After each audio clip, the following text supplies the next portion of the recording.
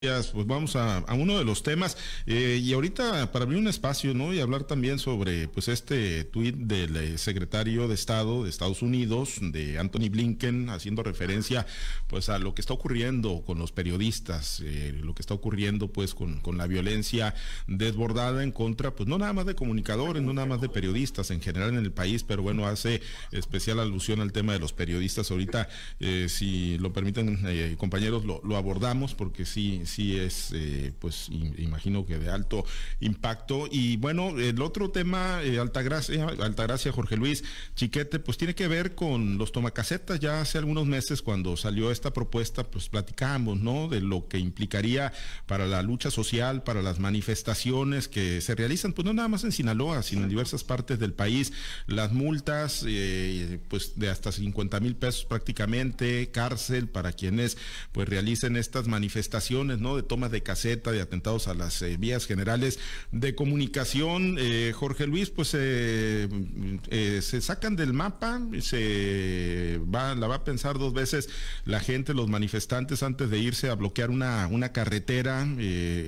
vendrá realmente mano dura por parte del gobierno, digo, porque pues seguimos viendo, ¿no? En diferentes partes del país cómo pues se bloquea pues las vías férreas, se bloquea una carretera, se toma una caseta, se cobra, incluso ni siquiera en las casetas se ponen pues retenes, ¿no? Ahí de grupos de, manifestantes, algunos de ellos dicen incluso pues ya coaligados con, criminales y pues no parece haber gobierno, ¿eh? Que más allá de lo que se plasme en la ley, de las modificaciones que se hagan a la normatividad, pues no parece haber gobierno que resuelva esto de fondo, Jorge Luis. Pues sí, acuérdate que por años estuvieron tomadas casi todas las casetas del vecino estado de Sonora en ruta hacia Nogales. Y no únicamente las casetas, sino que te ven ahí en Poloyaki, Imuris, Potam, Bicam, en esa zona yaqui. También había gente que bloqueaba la, la carretera y que también pedía dinero, ¿no? Era como sea tu voluntad, pero de 50 pesos para arriba, por supuesto, ¿no? Entonces no, no es no, únicamente que te bloqueen las casetas, sino que te bloquean las carreteras. Ahí está, yo no sé si se, tengo entendido que ya se levantaron las tomas de casetas del estado de Sonora, pero no sé si sigan ahí los pueblos yaquis también bloqueando la carretera que va, que va hacia Nogales. Y también es un atentado, es un atentado pues contra la integridad del automovilista, porque ese no es de que quieras o no, es de que pues eh, lo que sea tu voluntad, pero de tanto para arriba. Igualmente las casetas del vecino estado de Nayib, que por cierto son carísimas, las que van de, Mazatlán hasta Guadalajara, por ejemplo, pues este, también ahí duró un tiempo tomadas. Creo que ya se levantaron las tomas. No fue precisamente a raíz de esta, esta iniciativa, de esta disposición legal que creo que surte los efectos a partir del día de hoy. La carretera de México a Acapulco también creo que cada fin de semana era tomada por tomacasetas y ahí creaban gravísimos problemas, pues porque los capitalinos acostumbran irse a pasar el fin de semana a Acapulco, los que pueden, por supuesto. Los capitalinos FIFI se van a Acapulco y ahí tenían el, bloqueo en la carretera que se llama la autopista, la autopista del Sol. Yo creo que esta es una buena medida, pero vamos a ver si se aplica, ¿eh? Y yo no creo que esto vaya a amedrentar a quienes toman las casetas. Es un gesto, pues, muy grave, muy grave, es un atentado contra las finanzas de la nación que se tomen las casetas. Aquí en Sinaloa pocas veces lo hemos visto, lo hemos visto también algunas veces, sobre todo con las movilizaciones agrícolas, pero no es una constante ni tampoco es una situación recurrente, pero también, también ha pasado y se ha tenido que llegar incluso a la intervención de la ley para que se desbloqueen las casetas. Entonces me parece a mí bueno de parte del gobierno, pero creo que ya había una disposición sobre, sobre este asunto y sin embargo no se acataba. Habría que ver, una cosa es que salga la ley, que se sienta la amenaza y con de tal gravedad que se expidió ayer y el día de hoy ya está en vigor. Vamos a ver si realmente, si realmente acata la disposición. Es que para este fin de semana y habría que investigar, explorar si el día de hoy las casetas que están bloqueadas se desbloquean. Pero te digo, no debe ser únicamente las casetas, sino también los bloqueos en carreteras en aquellos tramos en los que no existe ninguna razón. Nada más te bloquean, ¿por qué? Porque en el caso de los pueblos yaquis, que por los problemas que tienen con el agua, que porque ocupan, ahí te lo dicen literalmente, no es para mantener el movimiento, mantener la movilización. Y bueno, me parece bien de parte del gobierno, me parece bien, aunque por otro lado, pues este, es una situación legal muy contradictoria porque te dicen, por ejemplo, hay un apartado de ley que te dice que por cada caseta de cobro debe haber una, una carretera, una, por cada carretera de cobro debe haber una libre, cosa que no sucede en la mayor parte del país. Aquí en Sinaloa la carretera libre llega hasta, hasta Guamuchi, y de Guamuchi a Mochis no tenemos más que una opción, que es la carretera de cuota por la que hay que, por la que, hay que pagar, y, y, de, y de Mochis hasta, hasta allá, hasta Nogales, ya no hay otra carretera libre más que, más que esa, es la única carretera que hay, entonces no hay una alternativa, necesariamente tienes que irte por la carretera de cuota a pagar, a pagar las, las, las grandes cuotas que hay que pagar. Son muchos puntos por los que tiene esta ley. Por lo pronto, yo celebro que se tenga esta disposición, pero vamos a ver si se cumple. Vamos a ver si quienes toman las casetas acatan la disposición y sienten de, verdaderamente el rigor de la ley. Sí, y, y, bueno, pues está en la frontera, chiquete, ¿no? De quienes eh, pues recurren a estas manifestaciones eh, con banderas muy, muy legítimas, ¿no? Muy justas. Hay quienes lo hacen, pues elementalmente por negocio y hay otros que lo hacen por, por caprichos, ¿no? Y quienes lo hacen, pues incluso sin, sin calcular las consecuencias, como lo que vimos con los normalistas, ¿no? A principios de febrero, que agarraron un camión ahí de una cadena comercial de, de Soriana y lo lanzaron contra la Guardia Nacional. Eh, pues tú coincides, chiquete, bienvenidas estas sanciones, este mayor rigor para los manifestantes que, que, decidan pues irse a las vías generales de comunicación? Yo igual que todos tengo muchas dudas. Mira, son, son dos, dos cosas distintas. Una, eh, qué bueno que se tomen medidas para enfrentar esta situación irregular, pero también está el problema de la criminalización de la protesta social. Yo estoy seguro que a quienes les van a aplicar la ley es a quienes protesten con alguna causa. Por ejemplo, los productores agrícolas no tienen más lugar donde protestar que las carreteras. ¿Por qué? Porque si hacen un paro, un bloqueo en sus propios terrenos agrícolas, nadie se va a ver impactado, nadie va a, a nadie le va a llamar la atención esa, esa protesta. Claro. Eh, a, a, partir de esto, pues se, se abusa por parte de otros grupos. Bueno, ya está la ley, ya entra en vigor hoy, ya se aplica en teoría a partir de hoy. ¿Qué va a pasar si los estudiantes de la normal de Ayotzinapa vuelven a tomar? Esto que pasó recientemente eh, es muy ilustrativo. No solamente se enfrentaron a la, a la policía, lanzaron un, un tráiler sin, sin tripulación en contra de lo que se estuviera, de lo que se atravesara. ¿Y qué, ¿Y qué reacción fue la de la autoridad? Los dejaron ir. Hubo un intento de asesinato ahí y nadie, nadie tomó cartas en el asunto. Por el contrario, la alcaldesa de, Acapulco, que es de Morena, dijo que no había a nadie a quien culpar porque el, autobús, el, tráiler iba solo. Es decir, este, en automático se fue a tratar de estrellar contra los que estuvieran oponiéndose a la toma. ¿Qué dijo el presidente ahora que vio en, Sonora el, que persiste el problema de los yaquis? Que les van a dar el dinero que recauden para que ya no, no estén bloqueando. Es decir, ya ni siquiera de ese trabajo se van a tomar, ya les va a llegar el subsidio directamente, el subsidio carretero. Y entonces, mientras el gobierno esté tratando de quedar bien con todo mundo, en lugar de aplicar la ley, esto no va a funcionar. Y ya lo hemos dicho, si hay una conducta irregular, si hay, incluso aquí en Sinaloa a mí me ha tocado, me ha tocado pasar cuando hay protesta de los agricultores que entonces se limiten a bloquear la operación de la caseta. Y me ha tocado cuando están los, los vivales, gente que sin, ya ni siquiera ponen una manta diciendo de protestamos contra esto, queremos aquello, simplemente bloquean la caseta y te cobran la pasada. Y además te amedrentan, por si no les, si no les este, colaboras, se te, se te pegan a, al ritmo en que tú vas caminando por ahí. Entonces, eh, pues en los dos casos el automovilista o el, o trailero o el, chofer se ve afectado porque si la caseta no le emite su comprobante de pago, no tiene el seguro de la carretera y entonces tú te accidentas y pues no te quedas inerme, te quedas sin respaldo legal. Y bueno, todo eso lo sabe el gobierno y en estos tres años no ha habido una acción contundente, real, pues no lo han hecho en, en, en Michoacán, donde bloquean las, las uh, vías del tren y afectan a la industria de todo el país, porque por Lázaro Cárdenas llega un montón de, de, cosas que se necesitan para toda la industria.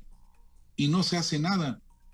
Pues quién sabe qué vaya a pasar con esta nueva ley. Yo creo que el gobierno pues va a buscar a quién sí afectar, por ejemplo, a los agricultores que protesten, eh, porque la agricultura comercial casi está prohibida en este país, y no a, los que por negocio van y hagan las tomas, o por ocurrencia, como los estudiantes de, de Ayotzinapa, que podrán tener una teoría muy, muy positiva de las causas en las que los movilizan, pero que en realidad no aplican a eso. Esos eh, simplemente van y sacan dinero para, para sus viajes de estudios o de cotorreo o para hacerse notar políticamente.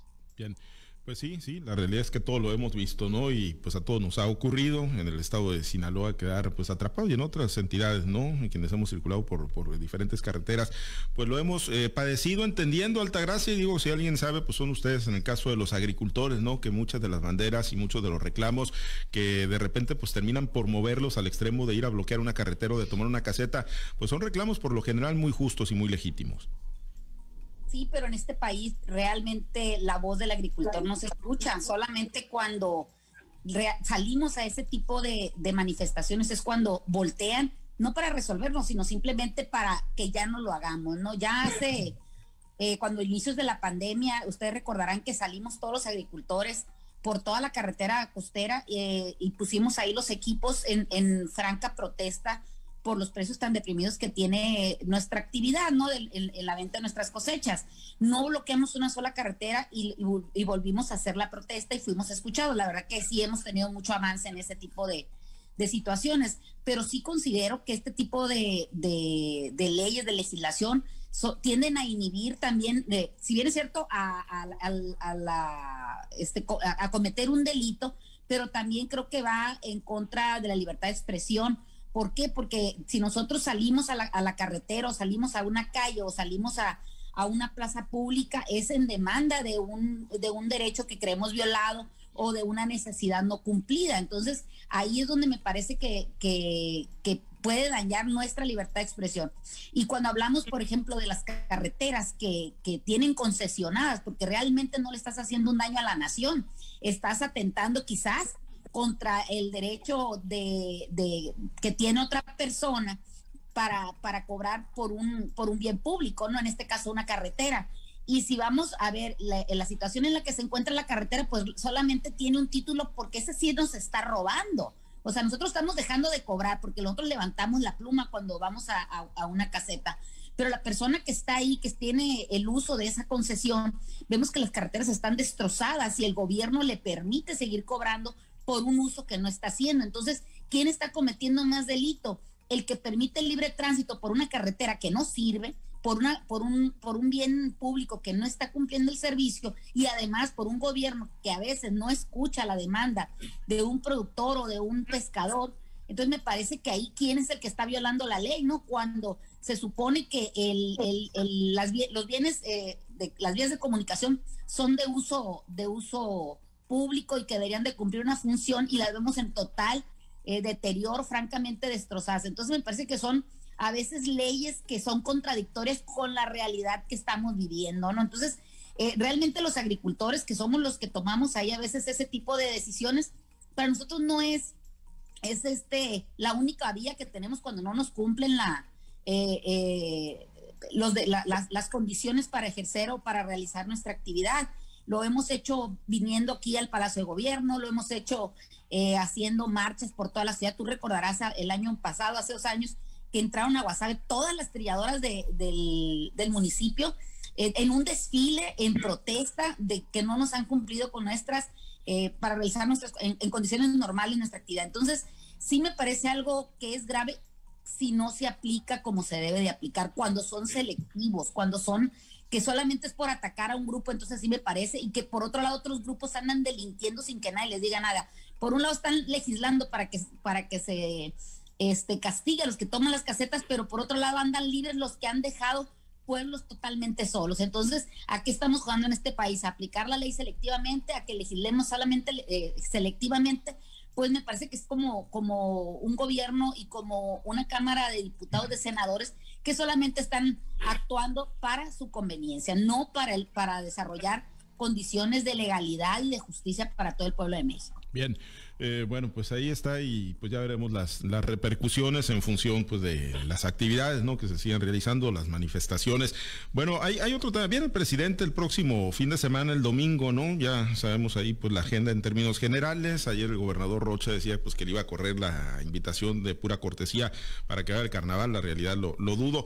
Pero sí hay un, hay un tema, este tuit ayer que generó el secretario de Estado de Estados Unidos, Anthony Blinken, que lo estamos viendo ahí en la plataforma de altavoz TV digital, lo estamos viendo en inglés, así lo escribió obviamente, pues es eh, funcionario del gabinete estadounidense y básicamente dice que el alto número de periodistas asesinados en México este año y las continuas amenazas que enfrentan son preocupantes. Me uno a quienes piden mayor responsabilidad y protección para los periodistas mexicanos. Mi corazón está con los seres queridos de aquellos que dieron su vida por la verdad.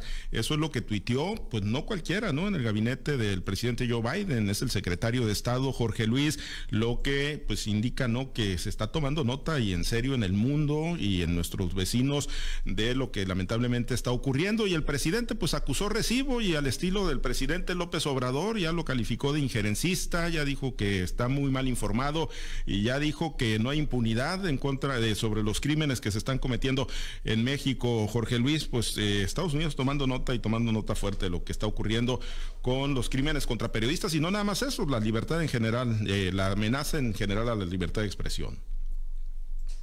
Antes de esto, y para cerrar el tema anterior, me lleva a lo que estamos comentando aquí, la declaración célebre, yo creo que más que célebre histórica, ¿no? De la presidenta municipal de, Acapulco, muy parecida a la de presidentes municipales de otras regiones del país, que no voy a decir su nombre, en el sentido de que no había que culpar porque el tráiler me, me a llover. Quiere decir que el tráiler solito se prendió y solito agarró camino para allá, para donde estaban los manifestantes, ¿no? Sí.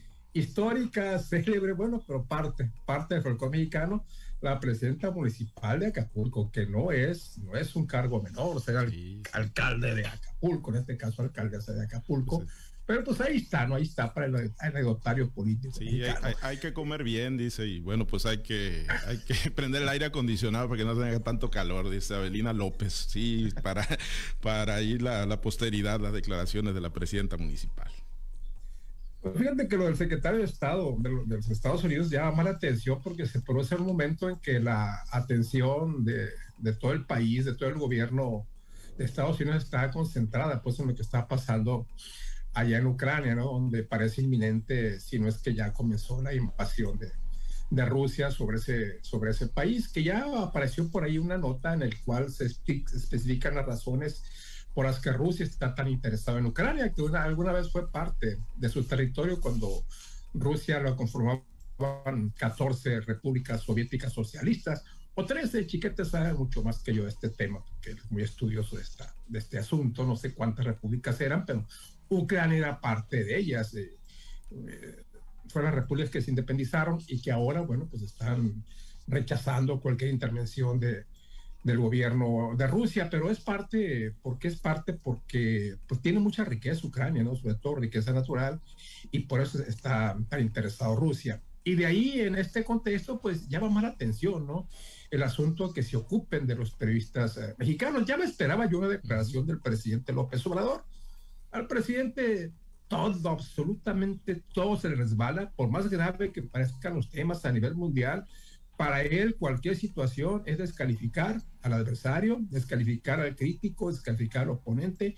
Y en este caso, pues el secretario de Estado de los Estados Unidos no es la excepción. También ha sido descalificado porque según el presidente, pues los crímenes contra periodistas no son de Estado, son producto de otras circunstancias. Imagino que por esta razón es que el gobierno nos deja pasar y está actuando con absoluta indiferencia, porque no puede ser llamado de otra manera. Cuando lo anticipamos, lo anticipamos aquí, usted recordar, todos coincidimos, ninguno, ningún asesinato a los periodistas va a ser aclarado en este sexenio y como no ha sido aclarado ninguno de ellos, todos los que vengan ahí van a quedar en la impunidad.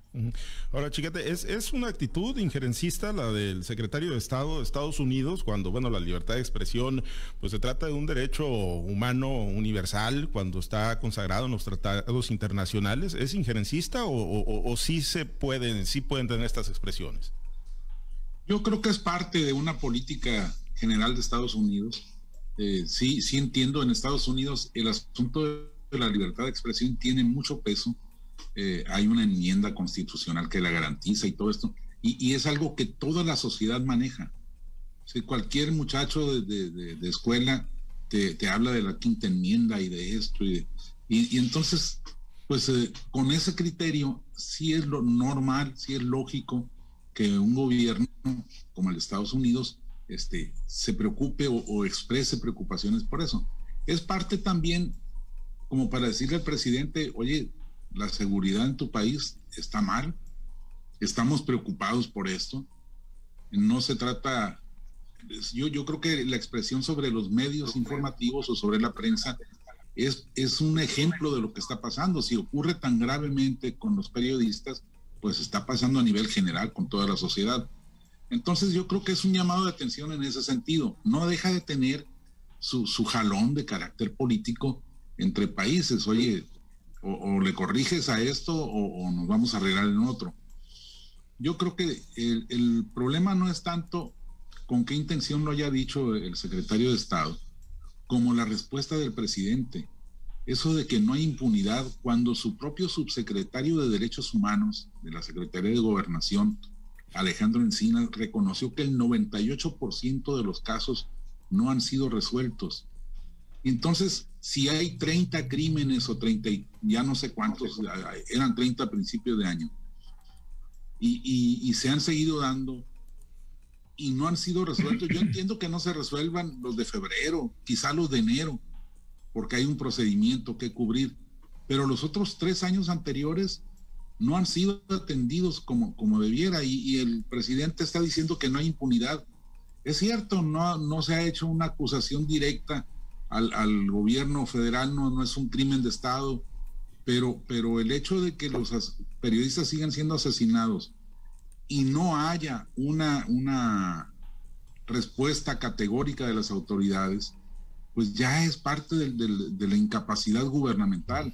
Incluso debemos añadir el hecho muy lamentable de que el presidente esté violentando la relación con los medios, exponiendo a los, a los periodistas a, la crítica, a la, a la, persecución de sus seguidores.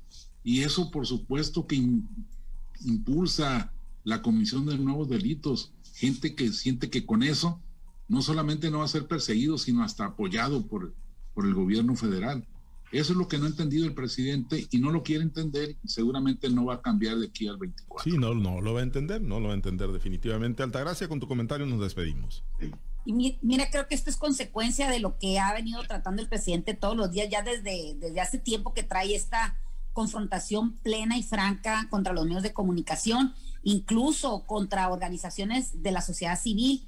Y también esto lo ha llevado a lanzar descalificaciones al gobierno de los Estados Unidos por el tema de las aportaciones que hacen a las, a las, estas, estas asociaciones de la sociedad civil, ¿no? En el caso de Mexicanos Unidos contra la Impunidad y la, y la Corrupción, algo se llama, ¿no? Entonces, también se da esta declaración de este funcionario de los Estados Unidos el día de ayer que también eh, se encuentra asesinada una presentadora de noticias o de televisión, eh, precisamente con, con, el tema de los feminicidios, del, del ataque a los periodistas creo que no le ayuda en nada al presidente de la República el estar haciendo este tipo de señalamientos, como no le ayuda en nada ni le abona en nada al tema de ejercer la, el periodismo, lo que es la, los medios de comunicación, no les abona en nada que se esté haciendo este tipo de cosas. Me parece algo muy grave.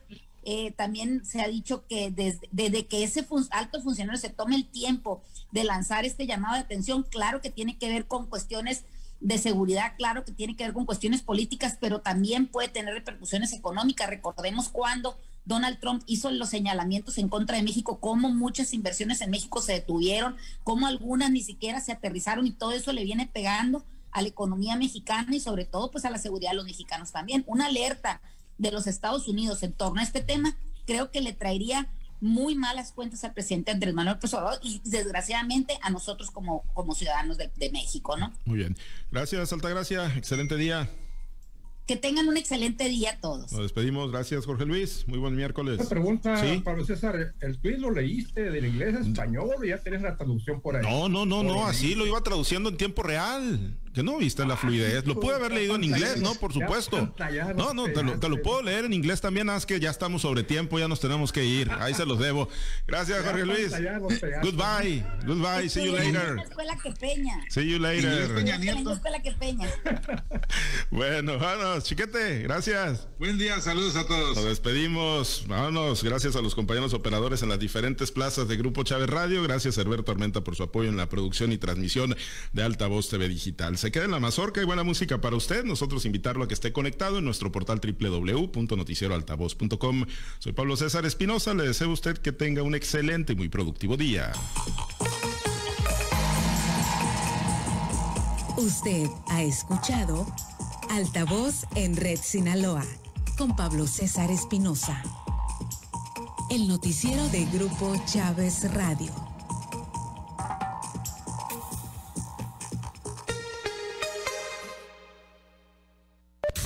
Disfruta de tu viaje con nosotros. Estás en